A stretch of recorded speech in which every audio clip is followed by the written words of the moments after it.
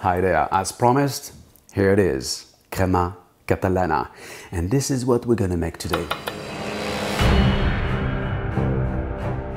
Crema catalana is a Spanish dessert from the region of Catalonia. Did you know that the very first recipe was published in 1324? His well-known cousin, the French crème brûlée, appears in 1740.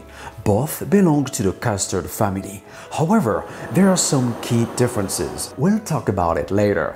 Let's get to work. First, I'm going to heat up the milk and a tiny bit of heavy cream and I'm gonna throw in there some uh, lemon and orange peel, cinnamon stick and star anise. So in the milk I'm gonna add a little bit of sugar, bring to a boil, then turn up the heat, cover and let infuse for about 20 minutes.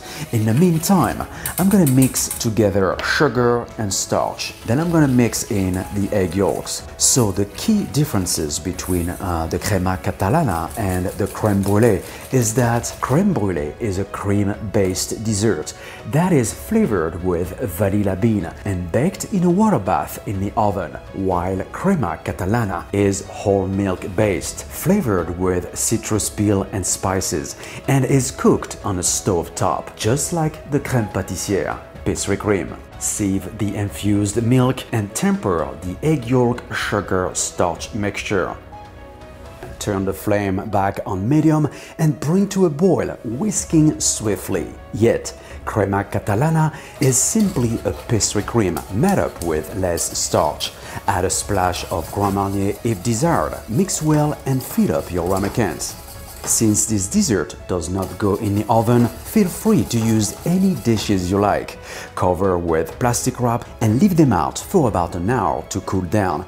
You know, you never want to put hot stuff straight in a refrigerator, right?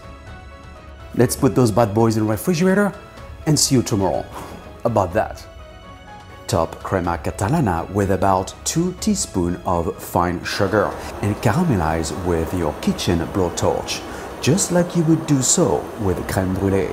Since this dessert celebrates citrus and spices, let's create something around this theme using some of my poached and candied lemons and oranges, along with cinnamon sticks and star anise. Check out my website by the way for more about poached citrus. I hope you guys you have enjoyed this easy and yet delicious dessert. To get this wonderful recipe, go to brunoalbouze.com. Try this out, take a pic and tag me on Instagram at Bruno Albouze. Please subscribe to my cooking channel and website. Thanks again for your support. Hasta luego.